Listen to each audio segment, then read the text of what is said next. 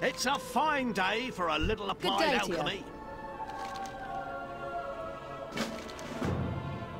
The Coven will fall.